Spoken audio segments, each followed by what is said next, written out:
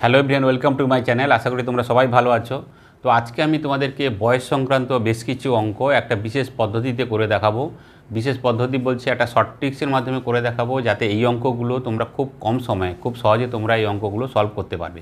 একটা বিশেষ টাইপের অঙ্ক, সুতরাং বয়স সংক্রান্ত অঙ্ক, এই ধরনের প্রশ্ন তোমাদের যদি আসে, তোমাদের এই পদ্ধতিটি জানা থাকে, তাহলে তোমরা নিমেষে কিন্তু এই প্রশ্নের উত্তর তোমরা করতে পারবে। তো প্রথম অঙ্ক আমরা দেখে নিই, এবং এই অঙ্কর ক্ষেত্রে প্রথমে আমরা করে দেখাবো যে তোমাদেরকে ট্রেডিশনাল মেথডে আমরা সাধারণভাবে যেভাবে করে থাকি, সেই পদ্ধতিতে করে দেখাবো এবং তারপরে শর্ট ট্রিক্সের মাধ্যমে করে দেখাবো। তাহলে তোমরা বুঝতে পারবে যে শর্ট ট্রিক্সের মাধ্যমে করলে এই অঙ্কগুলো কত সহজে এবং কম সময়ে করা সম্ভব হবে। তো প্রথম অঙ্ক দেখো, বলছে অজয় ও বিজয়ের বয়সের অনুপাত থ্রি ইস টু ফোর চার বছর আগে তাদের বয়সের অনুপাত ছিল five is to seven Ajay ও বিজয়ের বর্তমান বয়স কত? তার মানে এদের দুজনের প্রেজেন্ট এজ যেটা জানতে চেয়েছে। তো সাধারণভাবে দেখো দুটো রেশিও দিয়েছে। প্রথম বলছে কি যে থ্রি টু ফোর দিয়েছে। তো আমরা সাধারণভাবে যখন আমরা কন ট্রেডিশনাল মেথডে করে থাকি, তাহলে সেক্ষেত্রে কী হবে? না অজয় যে, অজয়ের ক্ষেত্রে কি হয়ে যাবে? না অজয়ের ক্ষেত্রে যদি থ্রি টু ফোর বলেছে, তাহলে এই ক্ষেত্রে বয়স হয়ে যাবে কত? না থ্রি এক্স এবং যে বিজয়, তার ক্ষেত্রে বয়স কত হয়ে যাবে? যেহেতু রেশিও ফোর দিয়েছে, তাহলে এই ক্ষেত্রে কত হয়ে যাবে? না ফোর এক্স হয়ে যাবে। পরের যে রেশিও দিয়েছে, সেই রেশিওটা কি বলছে? না, চার বছর আগে, তো চার বছর আগে আমাদের একটা জিনিস খেয়াল রাখতে হবে, সেটা হচ্ছে কি? যে যদি আগে বলে বা পাস্টের কথা বলে, তাহলে সেক্ষেত্রে কি হবে? না মাইনাস হবে। আর যদি আমাদের ফিউচারের ক্ষেত্রে বলে, তো সেক্ষেত্রে আমরা কি করব? না, সেক্ষেত্রে আমরা প্লাস করব। এইটুকু শুধু খেয়াল করতে হবে। তো আগে বলেছে, ঠিক আছে? তো এখানে ওই চার বছর আগে তাদের অনুপাত কত ছিল? না ফাইভ ইস টু সেভেন তো চার বছর আগে যদি হয়ে থাকে, তাহলে থ্রি এক্সটা কত হয়ে যাবে? থ্রি এক্স মাইনাস ফোর আর এখানে ফোর এক্সটা কত হয়ে যাবে? না ফোর এক্স মাইনাস ফোর তো এই দুটোর ক্ষেত্রে রেশিও দিয়ে দিয়েছে, সেটা হচ্ছে কত? না three x minus four divided by four x minus four তো এইটার ক্ষেত্রে আমাদের যেটা রেশিও দিয়ে দিয়েছে, সেটা হচ্ছে কত? না ফাইভ ইস টু সেভেন তার মানে এটা হচ্ছে কত? না ফাইভ ইস টু সেভেন তাহলে এখান থেকে আমরা এক্সের মান আমরা খুব সহজে পেয়ে যাব। তোমরা এটাকে সলভ করতে পারবে যে সাতের সঙ্গে থ্রি এক্স মাইনাস ফোর গুণ করতে হবে, পাঁচের সঙ্গে ফোর এক্স মাইনাস ফোর এটা গুণ করতে হবে, তারপরে সরাসরি তোমরা এটা বের করতে পারবে যে এক্সের মান কত। তো আমরা তোমাকে সরাসরি একটা ট্রিক্স বলে দিই যে এখানে এক্সের মান কত হবে দেখো, এখান থেকেও তোমরা সরাসরি করতে পারবে। দেখো সাতের সঙ্গে যদি আমরা গুণ করি, তাহলে এক্সের মান কত হচ্ছে? না, সাত তিনে একুশ এক্স আর এখানে যদি পাঁচের সঙ্গে চার গুণ করি, তাহলে সেক্ষেত্রে কত হবে? পাঁচ চারে কুড়ি এক্স তাহলে সাত তিনে একুশ এক্স থেকে যদি কুড়ি এক্স বাদ দিই, তাহলে সেক্ষেত্রে কী থাকবে? শুধুমাত্র এক্স থাকবে। আর যদি নাম্বারের দিক থেকে যদি বলি, তাহলে সেক্ষেত্রে কত হচ্ছে দেখো? না সাত চারে আঠাশ, তো সেখান থেকে বাদ যাবে কত? না পাঁচ চারে কুড়ি। তো আঠাশ থেকে যদি কুড়ি যায়, তাহলে সেক্ষেত্রে কত থাকবে? না আট থাকবে। তার মানে এক্ষেত্রে এক্সের মান আমাদের বেরিয়ে গেছে কত? আট বেরিয়ে গেছে। আর এক্ষেত্রে তাহলে অজয়ের যে বয়স হবে, অজয়ের ক্ষেত্রে বয়স কত হয়ে যাবে? না অনুপাত ছিল থ্রি এক্স তাহলে থ্রি ইন্টু এইট তো সেক্ষেত্রে কত হবে? না টোয়েন্টি ফোর আর বিজয়ের ক্ষেত্রে কত বয়স হয়ে যাবে? না যদি ফোর এক্স ছিল তাহলে ফোর ইন্টু এইট, তো সেক্ষেত্রে তার বয়স কত হয়ে যাবে? না, টোয়েন্টি এইট হয়ে যাবে। সুতরাং দুজনে যে বয়সের অনুপাত চেয়েছিল, অজয় এবং বিজয়, তো সেক্ষেত্রে তাদের বয়সের অনুপাত কত হয়ে যাবে? না, চব্বিশ এবং আর বিজয়ের ক্ষেত্রে কত? না আট চারে বত্রিশ সরি এক্ষেত্রে কত হয়ে যাবে? না, চারের সঙ্গে আমরা আট গুণ করব, তো এই ক্ষেত্রে কত হবে? না, টোয়েন্টি এইট নয়, তো এটার ক্ষেত্রে কত হয়ে যাবে? না, চার আটে বত্রিশ হয়ে যাবে। তার মানে অজয়ের ক্ষেত্রে হচ্ছে চব্বিশ এবং বিজয়ের ক্ষেত্রে কত হচ্ছে? না, আট চারে বত্রিশ বছর। তো এটা তোমাদের সলভ করতে সময় লাগবে। তোমাদেরকে একটা স্টেট ওয়েতে দেখিয়ে দিলাম, যদি এই ধরনের থাকে, যে উপরে মাইনাস মাইনাস আছে, তাহলে সাত তিনে একুশ এক্স থেকে পাঁচ চারে কুড়ি এক্স যদি বাদ দাও, তাহলে সেক্ষেত্রে কত হবে? শুধু এক্স হবে। আর সাত চারে আঠাশ থেকে যদি পাঁচ চারে কুড়ি বাদ দাও, তো আঠাশ থেকে কুড়ি গেলে কত হবে? আট হবে। তার এক্সের মান হচ্ছে কত? আট। তো তোমরা যদি সলভ করো, কোনাকুনি গুণ করে, তাহলে সেক্ষেত্রে আরও সময় লাগবে। তো সাধারণভাবে আমরা যখন বয়স সংক্রান্ত কোনো অঙ্ক করি, সেক্ষেত্রে আমরা ঠিক এই ধরনের এক্স আমরা ধরে নিয়ে তারপরে আমরা অঙ্কগুলো করতে শুরু করে দিই। তো সেক্ষেত্রে আমাদের কিন্তু সময় অনেক লাগে। তো আমরা এই পদ্ধতিতে না গিয়ে আমরা কিন্তু দেখব আজকে শর্ট ট্রিক্সের মাধ্যমে এই ধরনের অঙ্কগুলো কীভাবে করা যায় সেটা দেখে নিই এবং এবার থেকে এই ধরনের বিশেষ টাইপের অঙ্ক যখন থাকবে বয়স সংক্রান্ত, এগুলোকে আমরা আজকে যে ধরনের ট্রিক্সের সাহায্যে করছি, সেই ট্রিক্সে করব, তাহলে সহজেই হয়ে যাবে। ট্রিক্সটা কি? দেখে নাও। এখানে কি বলছে দেখো? না, এখানে যেটা বলছে যে দুজন আছে সেটা হচ্ছে কি অজয় এবং বিজয়। তো দুজনের ক্ষেত্রে যা ভালো করে খেয়াল করো, একজন হচ্ছে অজয় এবং আরেকজন হচ্ছে কে? না, বিজয়। ঠিক আছে? দুজনে লিখলাম। এবার বলছে এদের বয়সের অনুপাত হচ্ছে থ্রি টু ফোর তার মানে অজয় যদি তিন হয়, তাহলে বিজয়ের ক্ষেত্রে কত হবে? না, চার হবে। থ্রি টু ফোর ঠিক আছে?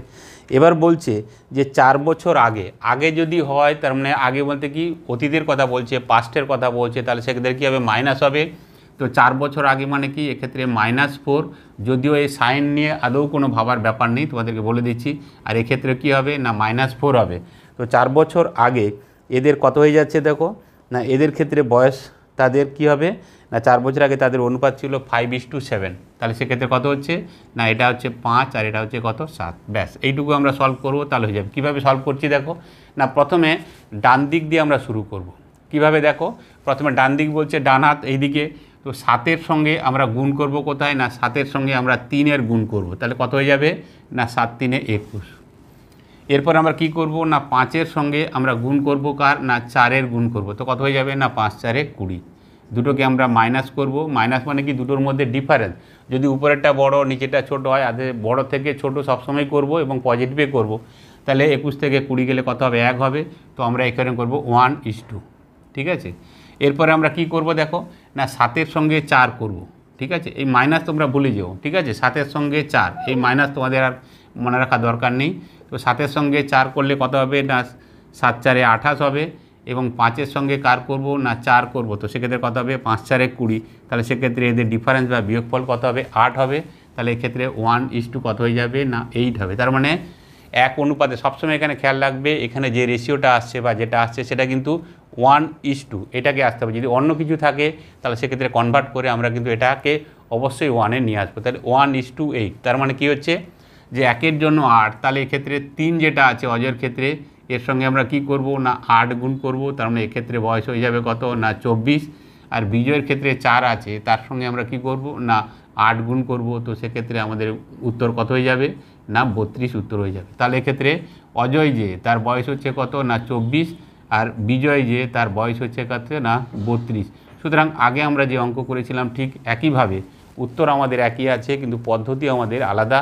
তো এই ট্রিক্সের মাধ্যমে আরও একাধিক অঙ্ক করাবো। তো এই টাইপের যখন অঙ্ক থাকবে, তখন কিন্তু সরাসরি আমরা করব। এখানে মাঝখানে যেটা ছিল, যে মাইনাস হোক বা প্লাস হোক, যেহেতু আগে বলেছে, অতীতের কথা বলেছে সেই জন্য মাইনাস যদি বলে যে পরে, এত বছর পরে, তখন আমরা প্লাস করব।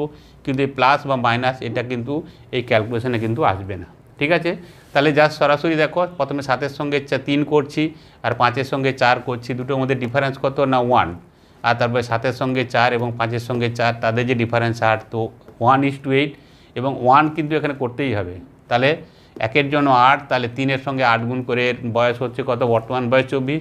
আর এই চারের সঙ্গেও আট গুণ করব, তো এর বর্তমান বয়স হচ্ছে কত? চব্বিশ। তো চলো আরেকটা আমরা এক্সাম্পল দেখে নিই। এবারের অঙ্ক।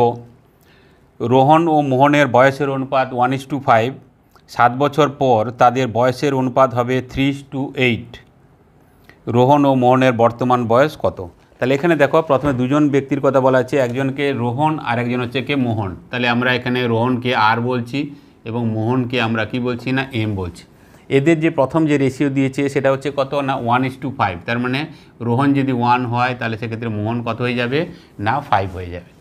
এবার যেটা প্রশ্নে বলেছে যে সাত বছর পর, সাত বছর পর মানে কি? ভবিষ্যতের কথা বলছে, তাহলে সেক্ষেত্রে কী হবে? প্লাস হবে প্লাস সেভেন আর এখানে কি হবে? না প্লাস সেভেন যদিও এর আগের অঙ্কের ক্ষেত্রে বলেছি, এখানে কিন্তু সাইন কিন্তু আদৌ কোনো ফ্যাক্টর নয়। এই প্লাস বা মাইনাস যেটা হয়, সেটা ওই আগের যে ট্র্যাডিশনাল মেথডে করলাম, সেখানে হবে যে যদি আমি ধরে নিই যে এটা টু এক্স হচ্ছে, সাত বছর পরে কথা হবে? টু এক্স প্লাস সেভেন যদি বলি যে তিন বছর আগে কত না টু এক্স মাইনাস থ্রি তো সেক্ষেত্রে প্লাস মাইনাস হবে।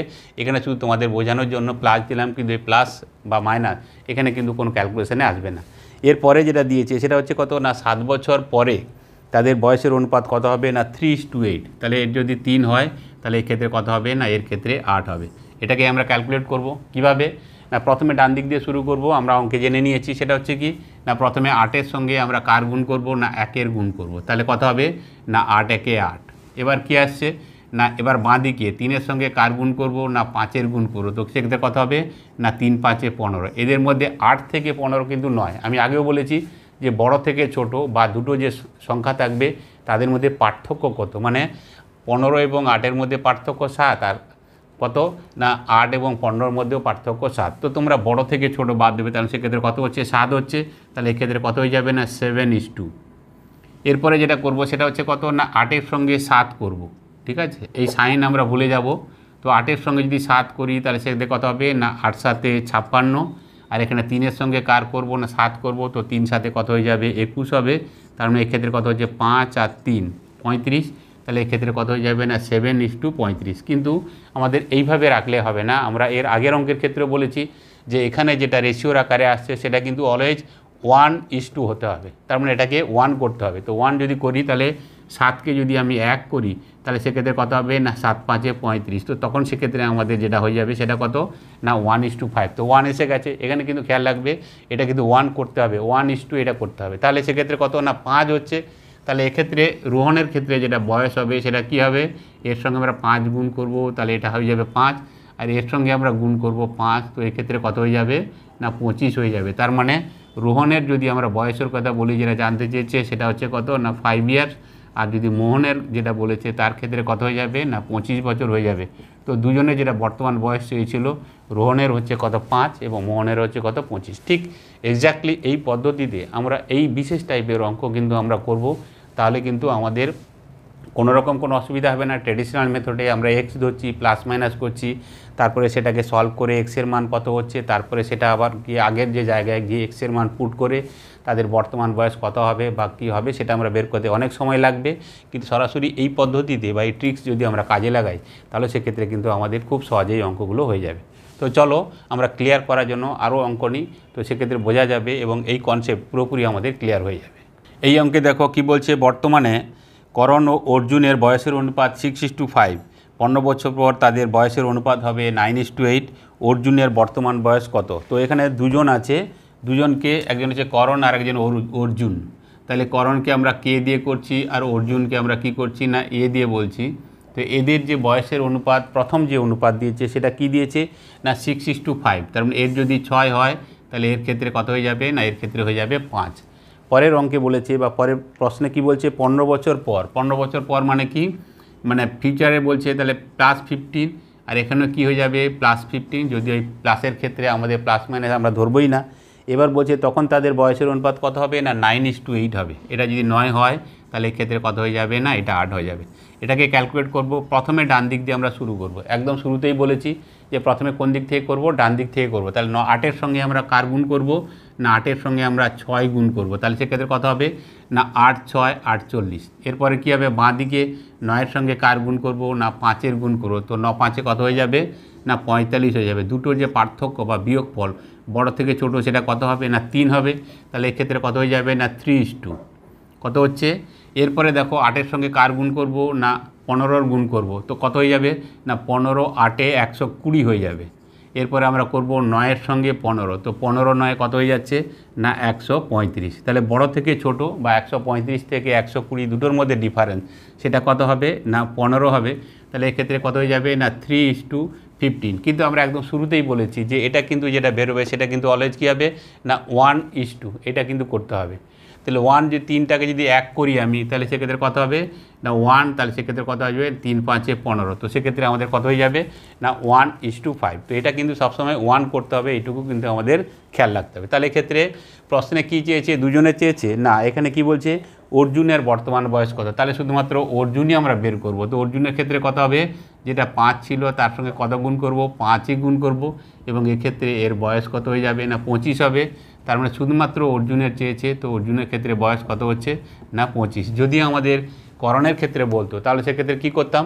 না, ছয়ের সঙ্গে আমরা কত গুণ করতাম? পাঁচই গুণ করতাম, এবং সেক্ষেত্রে তার বয়স কত হয়ে যেত? না, ছ গুণিত পাঁচ, তো সেক্ষেত্রে কত হতো? তিরিশ। কিন্তু প্রশ্নে যেহেতু বলেছে যে অর্জুনের বর্তমান বয়স কত, তো অর্জুনের বর্তমান বয়স যেহেতু ওয়ান ইস টু ফাইভ, তাহলে পাঁচ দিয়ে গুণ করব, তো সেক্ষেত্রে উত্তর কত হয়ে যাবে? না, পাঁচ পাঁচে পঁচিশ বছর। এই অঙ্কে কি বলছে? যে মহেশ ও সুরেশের বয়সের অনুপাত সেভেন ইস টু নাইন দশ বছর আগে তাদের বয়সের অনুপাত ছিল ফাইভ ইস টু সেভেন সুরেশের বর্তমান বয়স কত? আমরা আরেকটা এক্সাম্পল নিলাম, এটা তার কারণ যে এই ধরনের, এই টাইপের যখন অঙ্ক আসবে, যাতে তোমাদের কোনো রকম কোনো অসুবিধে না হয়, যেই কারণে এই এক্সাম্পল এবং এক্সাম্পলগুলোতে তোমরা বুঝতে পারছ যে এই ধরনের অঙ্ক এলে একদম ছবির মতন তোমরা দেখা মাত্রই কিন্তু সঙ্গে সঙ্গে করতে শুরু করে দেবে। এখানে কি আছে? দুজন আছে মহেশ এবং সুরেশ। একজন আছে মহেশ এবং আরেকজন কে আছে না সুরেশ আছে। তো এদের ক্ষেত্রে প্রথম যে রেশিও দিয়েছে সেটা কি বয়সের অনুপাত কত দিয়েছে? না সেভেন ইস টু নাইন দিয়েছে। এর যদি সাত হয় তাহলে এক্ষেত্রে কত হবে? নয় হবে। পরের লাইনে প্রশ্নে বলেছে সেটা হচ্ছে কি দশ বছর আগে। তো আগে মানে কি? আমরা যদি ট্রেডিশনাল মেথডে যেতাম তাহলে দশ বছর আগে মানে সেক্ষেত্রে কী করতাম? না মাইনাস টেন করতাম। এবং দশ বছর আগে তাদের বয়সের অনুপাত কত ছিল? না ফাইভ ইস টু সেভেন তার মানে এর ক্ষেত্রে যদি পাঁচ হয়, তাহলে সুরেশের ক্ষেত্রে কত হবে? না, সাত হবে। এটাকে আমরা সলভ করব, আমরা জেনে গেছি। অঙ্ক দেখা মাত্রই আমরা করতে পারব। সেটা হচ্ছে কি, প্রথমে কোন দিক দিয়ে শুরু করব? অবশ্যই ডান দিক দিয়ে শুরু করব। ডান দিক বলতে কি, না, প্রথমে সাতকে নেব এবং সাতের সঙ্গে কার গুণ করব? না, সাতেরই গুণ করব? তো সেক্ষেত্রে কত হয়ে যাবে? না, সাত, সাতে উনপঞ্চাশ এরপরে বাঁ দিকে যে ফিগার আছে নিচে, তার সঙ্গে ডান দিকে নয় গুণ করব, তো সেক্ষেত্রে কত হবে? না, পাঁচ, নয়, পঁয়তাল্লিশ হয়ে যাবে। তাহলে উনপঞ্চাশ এবং পঁয়তাল্লিশ, এদের মধ্যে যে পার্থক্য বা বিয়োগফল, সেটা কত হচ্ছে? চার হচ্ছে। তার মানে এক্ষেত্রে কত হয়ে যাবে? না ফোর ইস টু এরপর কি আছে? না, এরপরে সাতের সঙ্গে আমরা কার গুণ করব? না, দশের গুণ করব? এবং এক্ষেত্রে যে সাইন, সেটা বোঝানোর জন্য কিন্তু এই সাইন কিন্তু আমাদের কোনো ক্যালকুলেশনে আসবে না, সেটা আগেও বলেছি, এখনও বলছি। তাহলে কত হবে? না, সাতের সঙ্গে দশ হবে, তো সাতের সঙ্গে যদি দশ হয়, তাহলে সেক্ষেত্রে কত হবে? না, সাত দশে সত্তর হবে, এবং পাঁচের সঙ্গে কার হবে? না, দশ হবে। তো পাঁচ দশে কত হয়ে যাবে? পঞ্চাশ। তার মানে এদের যদি বিয়োগ করি, তাহলে সেক্ষেত্রে কত হবে? না, কুড়ি হবে। তার মানে এক্ষেত্রে কত হয়ে যাচ্ছে? না ফোর ইস টু টোয়েন্টি কিন্তু আমরা একদম শুরু থেকেই বলে আসছি যে এই যে রেশিও যেটা আসবে, অনুপাত যেটা আসছে, সেটা কিন্তু অলওয়েজ কী হবে? না ওয়ান ইস টু তার মানে চারটাকে আমাকে কী করতে হবে? এক করতে হবে। বা একে যদি আমরা ছোট করে নিই রেশিও মানে কি? সব থেকে শর্ট ফর্ম তো একে যদি এক করি, তাহলে সেক্ষেত্রে কত হবে? না চার, পাঁচে কুড়ি। তো ওয়ান ইস টু কত হয়ে যাবে? না ফাইভ হয়ে যাবে। তার মানে এখানে কার জানতে চেয়েছে? প্রশ্নে বলছে সুরেশের বর্তমান বয়স কত? তার মানে শুধু সুরেশে জানতে চেয়েছে। তো সুরেশের ক্ষেত্রে কত হবে? না, অনুপাত ছিল কত? নয়। তো নয়ের সঙ্গে আমরা কত গুণ করব? পাঁচ গুণ করব। তাহলে সেক্ষেত্রে এর বয়স কত হয়ে যাবে? না, ন পাঁচে পঁয়তাল্লিশ বছর। তো সুরেশের ক্ষেত্রে তাহলে বয়স কত হচ্ছে? না ফর্টি ফাইভ ইয়ার্স তাহলে দেখো, এই অঙ্ক, এখানে যদি যদি বলতো যে আরেকজন যে আছে, মহেশ আছে, যদি মহেশের ক্ষেত্রে বলতে চাইতো তাহলে সেক্ষেত্রে কী করতাম? সাতের সঙ্গে কার গুণ করতাম?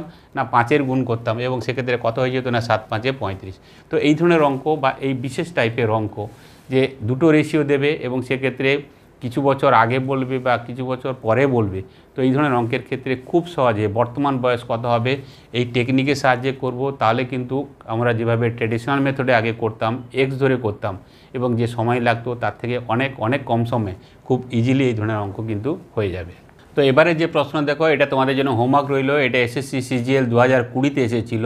তো একই পদ্ধতিতে তোমরা এই অঙ্ক করতে পারবে এবং খুব কম সময়ে তোমাদেরকে করে দেখালাম, কিন্তু তোমরা যখন নিজেরা করবে, তার কিন্তু সেক্ষেত্রে এত সময় লাগবে না, খুব সহজে খুব কম সময়ে তোমরা কিন্তু নিমেষে এই ধরনের অঙ্ক কিন্তু তোমরা করতে পারবে। এই বিশেষ টাইপের অঙ্ক, যখনই তোমরা দেখবে যে বয়স সংক্রান্ত কোনো অঙ্কের ক্ষেত্রে এই টাইপের অঙ্ক এসছে, তখন সেক্ষেত্রে কিন্তু কোনো চিন্তা ভাবনা দরকার নেই। সরাসরি যে পদ্ধতিতে তোমাদেরকে করে দেখালাম আজকে আমি তোমাদেরকে, ঠিক এই পদ্ধতিতে করবে, তাহলে সঠিক উত্তর হবে এবং সে কম সময়ে এই ট্রিক্সের মাধ্যমে তোমরা অঙ্ক কিন্তু করতে পারবে।